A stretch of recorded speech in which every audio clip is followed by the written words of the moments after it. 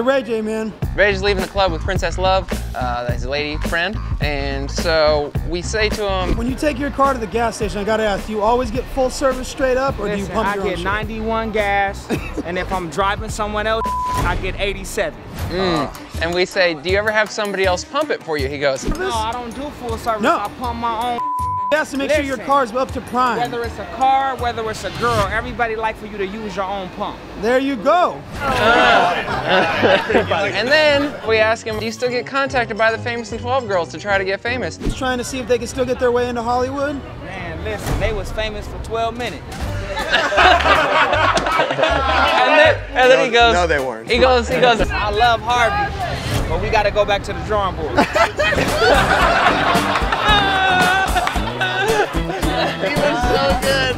Thanks a lot, buddy.